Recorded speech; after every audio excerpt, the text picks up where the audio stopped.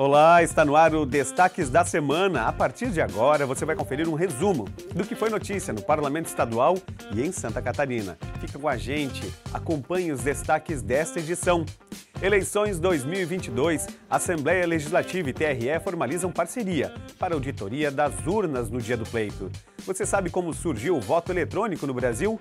A TVAL conversou com o idealizador deste sistema, que é aqui de Santa Catarina. Educação.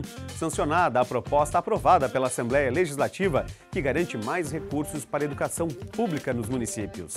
Escola do Legislativo vai ampliar atividades com aprovação de regimento interno.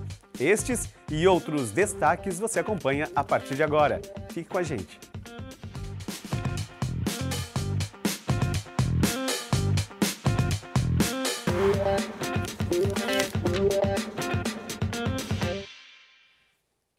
A Assembleia Legislativa será sede de uma auditoria feita em urna eletrônica no dia da eleição.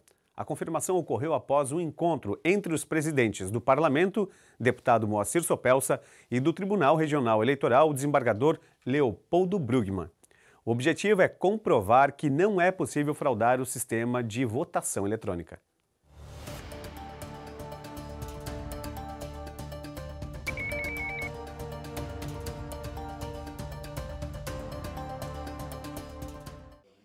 Cerimônia formalizou a participação da Assembleia Legislativa de Santa Catarina na Comissão de Auditoria da Votação Eletrônica, criada pelo Tribunal Regional Eleitoral por determinação do TSE.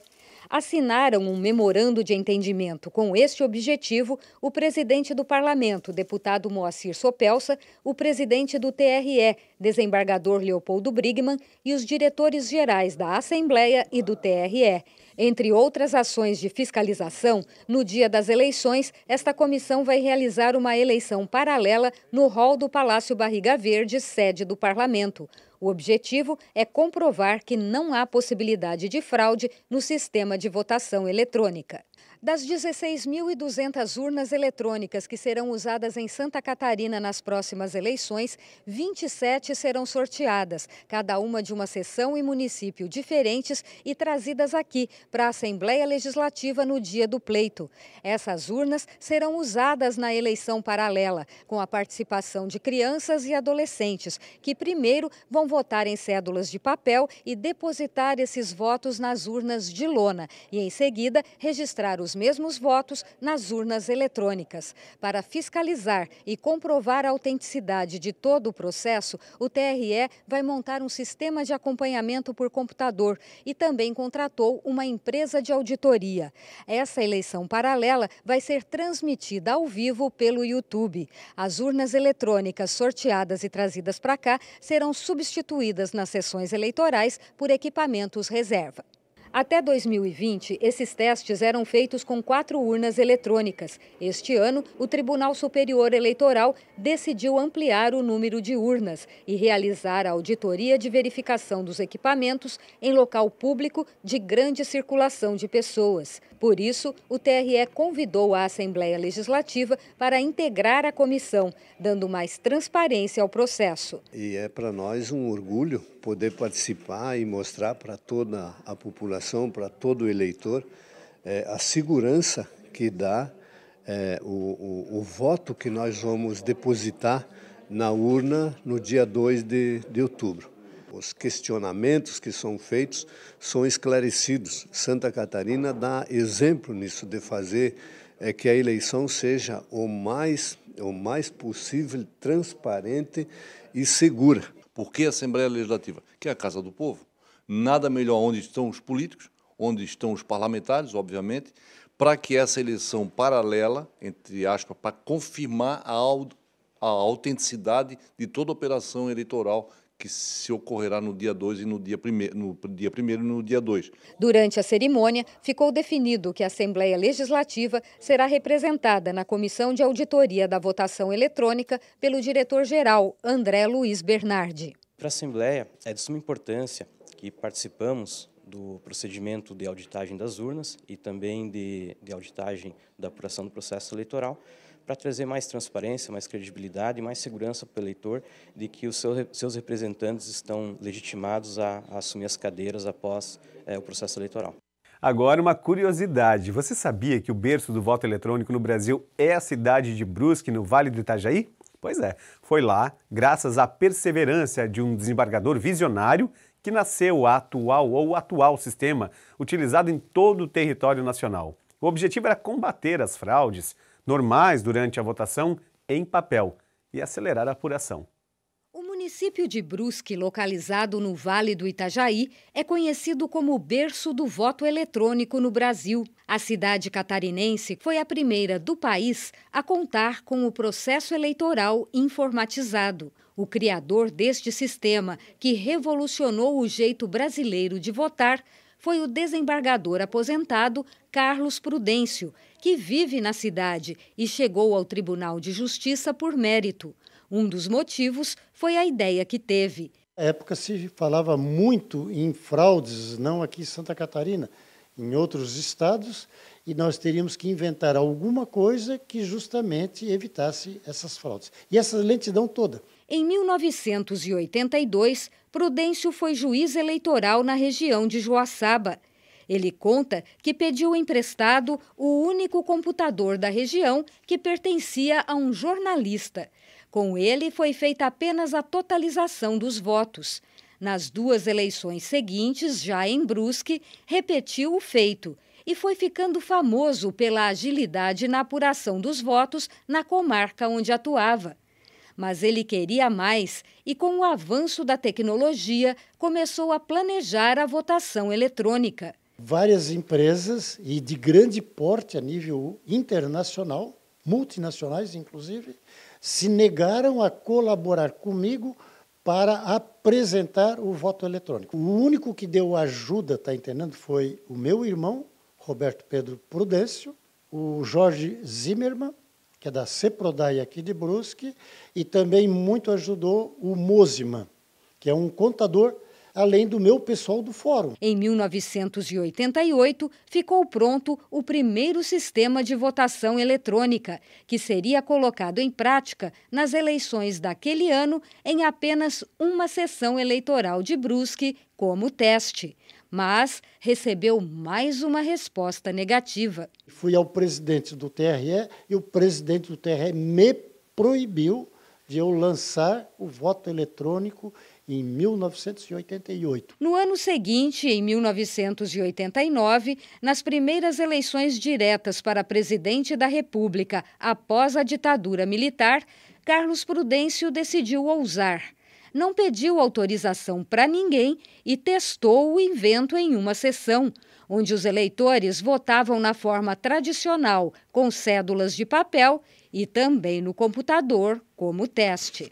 Eu lancei silenciosamente, sem pedir autorização para o TRE. Ou seja, fiz a revelia do TRE. O voto eletrônico em Brusque virou manchete em jornais do Brasil inteiro. Prudêncio guarda em casa, em local de destaque, o computador usado na primeira votação eletrônica do país e que funcionou como urna. Em 1990, nas eleições para governador e parlamentares, tudo ficou mais fácil. O então juiz de Brusque já contava com credibilidade. Nos anos seguintes, já com o apoio do TSE, Brusque foi ampliando o número de sessões com votação eletrônica. A tecnologia foi sendo aperfeiçoada e, a partir de 1996, teve início a implantação gradativa do voto eletrônico em outras regiões do país. As cidades com mais de 200 mil eleitores foram as primeiras a contar com o sistema informatizado de votação e apuração dos votos. Eram 56 municípios mais Brusque, que ganhou o direito à nova tecnologia, agora em todas as sessões eleitorais, por ter sido o pioneiro. Mas foi só no dia 1 de outubro do ano 2000 que os eleitores de todos os municípios brasileiros puderam votar nas urnas eletrônicas, então já famosas em todo o mundo. Nós temos é que avançar na, na tecnologia, empregar. Todo dia tem alguma coisa nova dentro da tecnologia. Ele aposta na tecnologia usada nas transações com criptomoedas, considerada imutável e 100% transparente. Hoje, 47 países adotam o sistema brasileiro de votação. E o que será que o visionário Carlos Prudêncio sonha para o futuro das eleições? É eliminar tudo isso que existe e o eleitor vai diretamente em qualquer computador, até mesmo seu celular, do seu local de trabalho, e também, está entendendo, sem necessidade de a eleição cair num domingo. E depois, eletronicamente, o computador já vai divulgando os resultados, sem a manipulação das pessoas. E o TRE de Santa Catarina lançou um canal de comunicação com a comunidade para o período eleitoral. A ideia é que uma ouvidoria receba denúncias de violência contra a mulher durante o período eleitoral. Acompanhe na reportagem. Este é o 14º TRE do país a instalar a Ouvidoria da Mulher. Foi um pedido do Tribunal Superior Eleitoral e do CNJ, o Conselho Nacional de Justiça, que tomaram a iniciativa de criar este espaço e propor aos tribunais regionais eleitorais que fizessem o mesmo. A ouvidoria funciona de ponte entre a Justiça Eleitoral e a população. A desembargadora gaúcha Tânia Regina Silvia Rexigel, ouvidora nacional da mulher no CNJ, veio de Brasília para participar da cerimônia. Ela destacou que o Brasil é o quinto país que mais mata mulheres. Nos últimos dez anos, foram registrados mais de 56 mil feminicídios. De acordo com ela, a violência é um dos principais motivos que impedem as mulheres de concorrer no processo eleitoral. Todo tipo de violência contra a mulher deve ser combatida e a ouvidoria é um canal, é a porta onde essas pessoas, onde essas mulheres podem pedir ajuda e auxílio. E nada melhor que o Tribunal Regional Eleitoral oferecer o seu espaço para receber aquelas que mais precisam, principalmente nesse período eleitoral que temos ainda temos ainda muita violência contra a mulher na política política. Logo após a instalação da Ouvidoria da Mulher, o TRE promoveu o seminário Justiça Eleitoral Catarinense contra a Violência Política de Gênero. A desembargadora eleitoral do TRE de Alagoas, Jamile Duarte Coelho Vieira, foi uma das palestrantes. A gente precisa de conscientização. Né? Esse foi um passo muito importante do Congresso Nacional de criminalizar a violência política de gênero, porque a violência política existe, mas para mulheres ela é muito acentuada. Então não é à toa que a gente tem 53% do eleitorado, somos metade da população, mas em questão de representatividade ainda somos 11%, por exemplo, de prefeitas no país e apenas 15% no Congresso. Para entrar em contato com a Ouvidoria da Mulher do TRE de Santa Catarina, é só acessar o site do tribunal, que tem uma página específica para esses registros. Recebendo uma denúncia de violência política, nós vamos analisar e a ouvidoria vai, vai proporcionar primeiro acolhimento, depois escuta ativa e depois encaminhar essa denúncia para os órgãos competentes, o Ministério Público e Defensoria Pública, enfim, quaisquer órgãos que forem competentes para dar tratamento para essa denúncia e buscar coibir e resolver o problema da, de quem nos procurar. E você vai ver depois do intervalo, lei do ICMS da educação é sancionada pelo Executivo e 5G começa a funcionar em Florianópolis.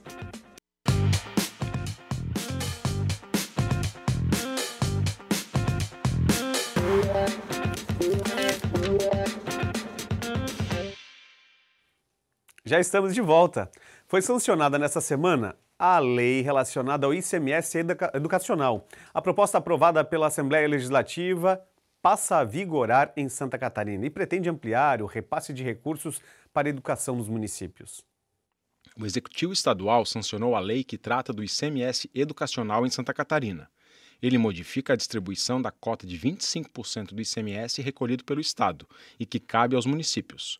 Conforme a proposta, 75% deste montante deve ser repartido de acordo com a movimentação econômica de cada cidade, 15% em partes iguais entre todos e 10% com base no ICMS educacional, índice que leva em conta indicadores de melhorias nos resultados de aprendizagem.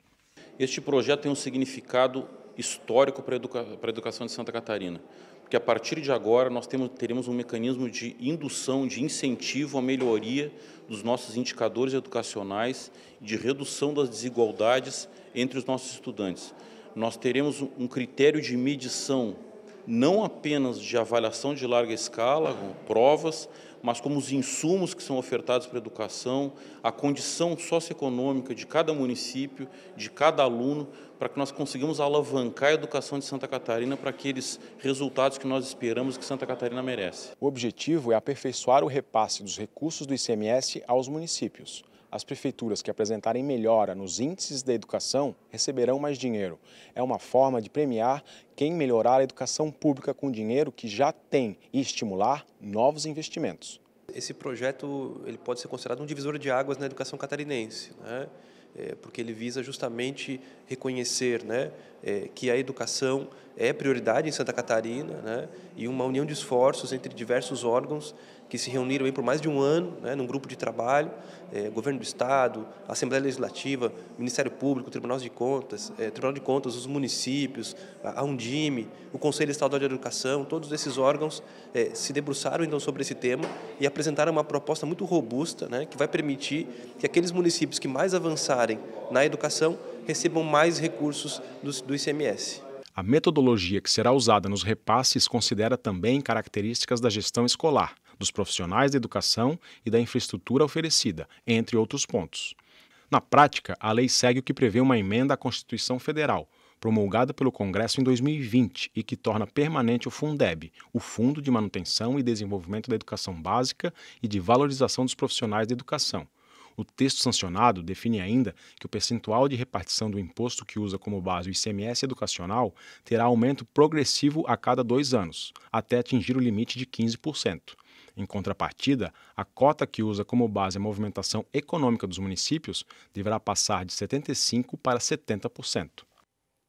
Agora vamos falar de proposta que pode virar lei. Você sabia que a população também pode se organizar e apresentar um projeto de lei na Assembleia Legislativa? O direito está previsto na Constituição. É preciso que pelo menos 1% dos eleitores do Estado participem de um abaixo-assinado para que a proposição seja apresentada no parlamento e tenha chances de tramitar, ser votada, aprovada e virar lei. Na Assembleia Legislativa, tramitam projetos de lei de autoria dos próprios parlamentares e do Poder Executivo. O Poder Judiciário, o Ministério Público e o Tribunal de Contas do Estado também enviam proposições relacionadas a questões dos próprios órgãos, como reajuste salarial dos servidores ou criação de novos cargos. Mas a população também tem a chance de propor leis. Para isso, é preciso conseguir em torno de 54 mil assinaturas em favor de uma proposição. É o equivalente a 1% do total de eleitores do Estado. Em 2010, o parlamento catarinense recebeu o primeiro projeto de lei de iniciativa popular. Na época, 48 mil cidadãos aderiram ao abaixo-assinado, pedindo que os parlamentares acatassem o anteprojeto de lei orgânica que propôs a implantação da Defensoria Pública do Estado, órgão previsto na Constituição Federal. Deu certo. O Poder Executivo encampou a ideia, enviou um projeto de lei com este objetivo para que a matéria estivesse de acordo com a Constituição e em 2012 a Assembleia Legislativa aprovou a criação da Defensoria, que assegura o direito à assistência jurídica integral e gratuita para a população de baixa renda. Antes, Santa Catarina contava apenas com a Defensoria Dativa oferecida pela OAB. A professora universitária e pesquisadora Maria Aparecida Luca Calvila foi uma das líderes do movimento para a criação do anteprojeto entregue no parlamento em 2010. Ela conta que a sociedade e os movimentos populares começaram a se mobilizar cinco anos antes da proposição chegar à Assembleia. Criamos site, buscamos apoiadores, a sociedade civil se uniu a nós em prol da socialização desse direito que vinha sendo sonegado. A partir de então, começamos a trabalhar com caravanas da cidadania, com atividades nos semáforos, nas praças. Foi uma organização intensa, né, em que nós conseguimos não só multiplicar a informação, mas também sensibilizar a sociedade sobre a importância desse direito. Por quê? Porque o defensor público é um profissional diferenciado. Ele tem outro perfil de atuação. Ele vai atuar no sistema de justiça, no poder judiciário, mas antes disso, ele também vai atuar na educação em direitos e deveres humanos. Depois da mobilização, foi preciso colher as assinaturas. Passamos então a, nos, nos, vários uh, espaços e regiões do estado de Santa Catarina, por meio de movimentos sociais, associações, entidades, buscar assinatura de eleitores catarinenses. E conseguimos mais de 48 mil assinaturas e trouxemos, então, no ano de 2010, os volumes, eram muitos volumes, eh, à Assembleia Legislativa, eh, protagonizando o primeiro movimento, histórico movimento de iniciativa popular pela criação do projeto de lei de iniciativa popular da Defensoria Pública de Santa Catarina. Hoje, Maria Aparecida atua como ouvidora geral externa da Defensoria Pública. A professora passou em um concorrido processo seletivo para o trabalho temporário, que permite a ela ver mais de perto o sonho concretizado. Um objetivo importante foi alcançado: a mobilização social, a participação social e a efetiva e o efetivo protagonismo da sociedade civil em dizer assim: nós queremos a Defensoria Pública. A Defensoria Pública é importante para o Estado de Santa Catarina e para a consolidação do Estado democrático brasileiro. O defensor público geral do Estado, Renan Soares de Souza, destaca a importância do órgão que foi criado em Santa Catarina graças à mobilização popular. Não existe sistema de justiça e tão pouco cidadania se não existir defensoria pública. É um dos grandes pilares do sistema constitucional, porque é um serviço de natureza gratuita estabelecido daqueles que mais precisam do Estado, que são as pessoas vulneráveis. Doze anos depois que o primeiro projeto de iniciativa popular chegou ao parlamento catarinense, outras proposições já foram apresentadas pela sociedade. De acordo com o regimento interno da Assembleia, as sugestões que partem de movimentos organizados seguem para a Comissão de Legislação Participativa.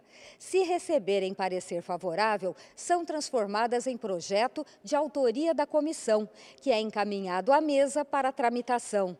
Já as sugestões que recebem parecer desfavorável são arquivadas. O Poder Legislativo Estadual está sempre aberto a novas propostas de lei. Basta que a sociedade se organize. A soberania popular é sempre respeitada pelos parlamentares, que são representantes da população e estão a serviço dos cidadãos. O assunto agora é tecnologia. No primeiro semestre deste ano, a Comissão de Economia da Assembleia Legislativa debateu amplamente a implantação da internet 5G em Santa Catarina. E nessa semana, a tecnologia chegou ao estado. Florianópolis foi a primeira cidade a receber a novidade, que deve ser estendida a todos os municípios até 2029. A tecnologia 5G já chegou em Santa Catarina. Desde a manhã desta segunda-feira, dia 22 de agosto, algumas áreas da região central de Florianópolis já podiam acessar a novidade. Mas afinal, você sabe o que é essa nova tecnologia que promete tornar o uso da internet muito mais veloz? Hoje 5G é uma nova tecnologia, não é uma evolução do 4G, mas uma nova tecnologia, que vem com uma, três grandes vantagens. Né? A baixa latência, quer dizer, quando tu faz um comando no, no, na, na, ordem que tu dá no comando, por exemplo, num jogo, ele responde rápido. Você tem uma grande quantidade de equipamentos conectados também, né? você pode fazer um Réveillon na beira-mar e muitos aparelhos conseguem se conectar nos sites, nas antenas, e isso facilita bastante e continua transmitindo. Né? E o terceiro é a velocidade, né? Quantidade e velocidade ali de downloads, de uploads que você faz. Então a tecnologia 5G é uma revolução que a gente considera, né, muito mais do que foi o 3G, 3G e o 4G também. Ivan é assistente técnico na Superintendência de Tecnologia da Prefeitura de Florianópolis. A capital catarinense é a primeira e, por enquanto, a única cidade do estado a ter acesso ao 5G. A expectativa é que nos demais municípios catarinenses a tecnologia deverá estar disponível para a população até o final de 2029.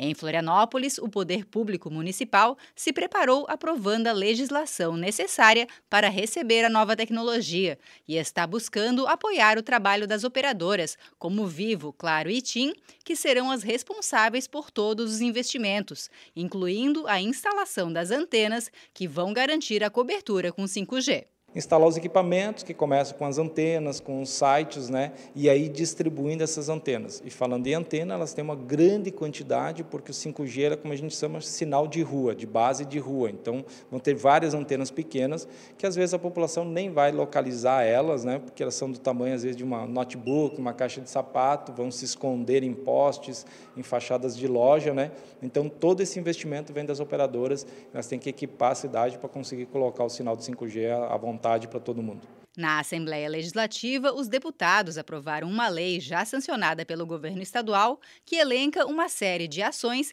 que deverão ser implantadas para viabilizar a chegada do 5G no estado. A expectativa é que a quinta geração de internet móvel vai permitir o avanço de uma série de tecnologias em áreas como saúde, segurança, mobilidade, além da chamada indústria 4.0, com toda a linha de produção automatizada. Acho que o futuro é bem promissor, né? A gente ainda não consegue visualizar exatamente o que, que vai ser, o que, que vai ter, né? Porque a partir de agora, a disposição de, de tecnologia 5G em Florianópolis, principalmente, que nós somos uma cidade de tecnologia, as empresas vão poder começar a desenvolver produtos e serviços para a população baseados no 5G. Para a população em geral, o 5G vai facilitar e agilizar o uso da internet no dia a dia. Mas para ter acesso à nova tecnologia, é preciso que o celular seja compatível. A Anatel divulgou uma lista com 68 aparelhos atualmente homologados para receber o 5G. Quem já tem o seu equipamento, seu aparelho com a funcionalidade que pega um chip de 5G, ele não precisa fazer absolutamente nada, certo? Ele vai circular na cidade onde tem sinal de 3G, de 4G, de 5G e não vai sentir diferença nenhuma no aparelho, não precisa fazer nada. Agora, se a pessoa não tem um aparelho que pega essa, essa a tecnologia 5G, ele tem que trocar de aparelho, né? Então tem alguns aparelhos que são mais antigos e não têm essa funcionalidade ainda. Em todo o Brasil, só nos primeiros cinco meses de 2022, as vendas de smartphones compatíveis com a tecnologia tiveram um crescimento de 230% em relação ao mesmo período do ano passado, e o preço médio dos aparelhos com 5G já caiu 30%. Veja no próximo bloco. Servidora da Assembleia Legislativa participa de projeto social na África e Escola do Legislativo cria regimento interno.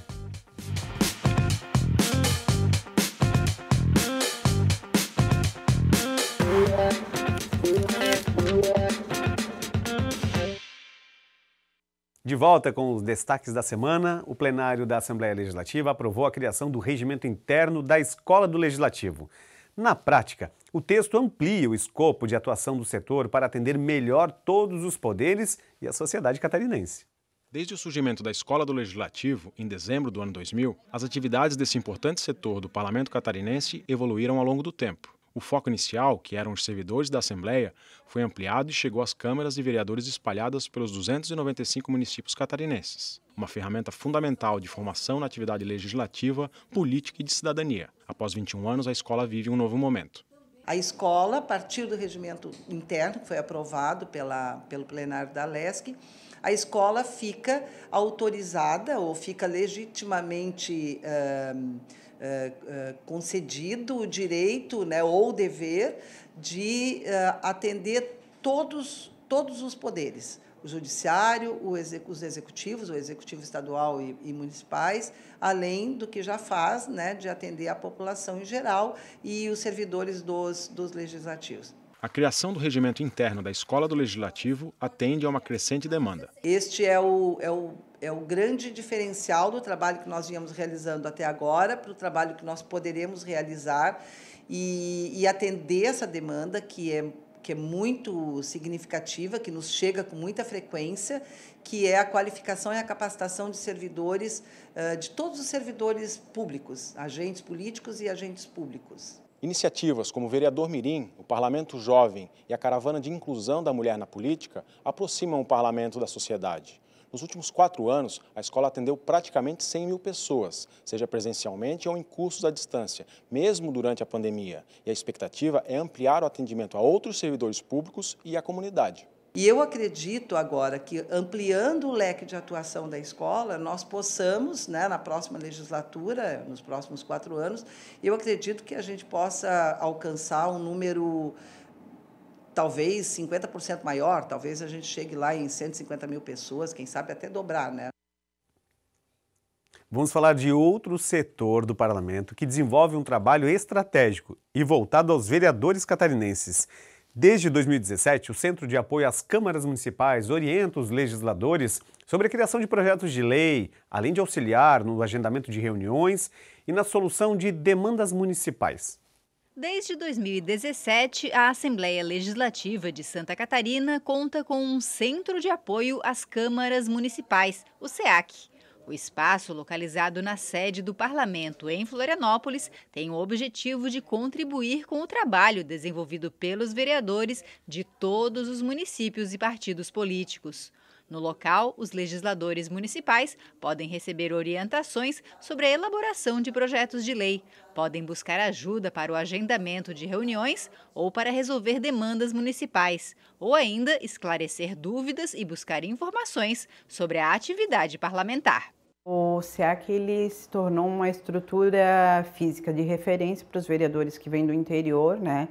A maioria vem de longe, de regiões extremas do estado, e eles têm aqui todo o suporte de eh, um gabinete. Eles têm computadores, eles têm como fazer ofício, eles têm como, através da gente, agendar audiências em órgãos do governo, Tribunal de Contas, uh, contatos com os deputados. Eles também buscam muito qualificação para desenvolver melhor a atividade parlamentar no município. No Centro de Apoio às Câmaras Municipais, os atendimentos aos vereadores podem ser feitos presencialmente, com a ajuda dos servidores do Parlamento Catarinense ou à distância, através do e-mail seac.alesc.sc.gov.br ou pelo telefone WhatsApp 48 3221 2842. Entre janeiro de 2021 e julho de 2022, o SEAC registrou mais de 10 mil atendimentos a vereadores de dezenas de municípios catarinenses. Nessa última legislatura, a gente identificou uma característica que mais de 50% dos vereadores eles são de primeiro mandato, vereadores e vereadoras de primeiro mandato, o que acabou fazendo com que eles não tinham muita familiaridade com os temas tratados. Eles têm muita disponibilidade, muita vontade de ajudar suas comunidades e daí eles começaram a procurar muito uh, uh, se qualificar melhor para exercer a função. Então, a Assembleia, juntamente com o SEAC e a Escola do Legislativo, a gente conseguiu disponibilizar cursos para eles nessas áreas de processos e técnicas legislativas e lei orçamentária, que são duas situações onde eles uh, têm bastante necessidade, que é principalmente buscar recursos para os municípios e as obras que as comunidades deles precisam que ninguém melhor do que o vereador que está lá no dia a dia do município para saber identificar isso.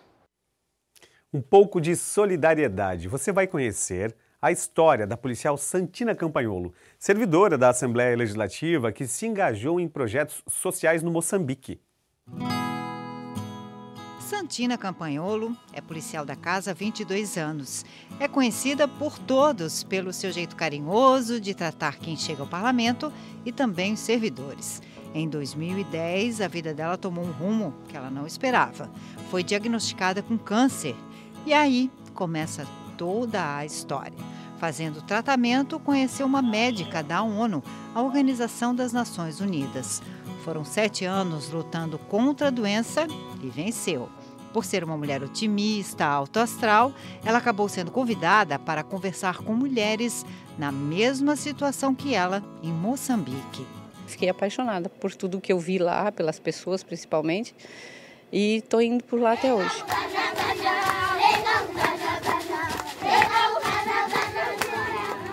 A partir daí, ela passou a ir todos os anos para lá.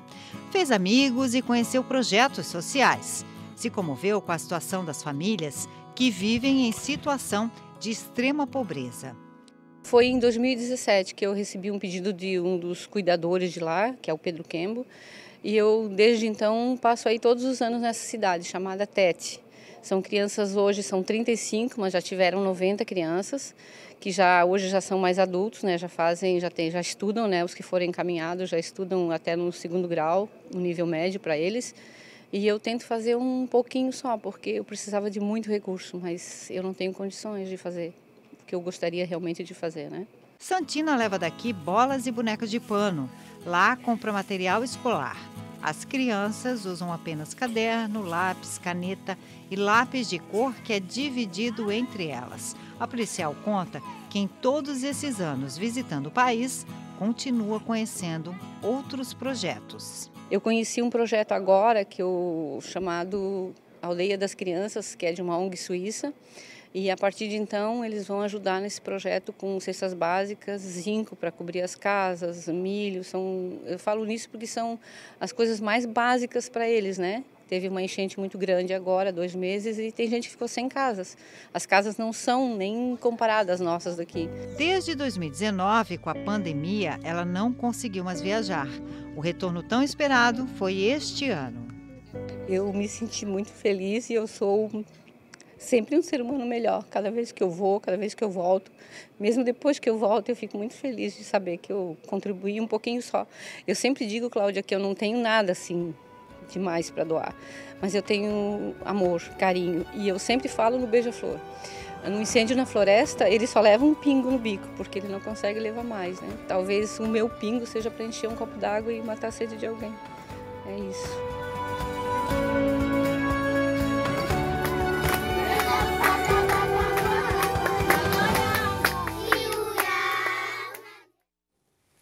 E é com essa bela história que a gente encerra o programa de hoje. Lembrando que você pode conferir outras notícias no site, nas redes sociais do Parlamento ou ainda durante a nossa programação.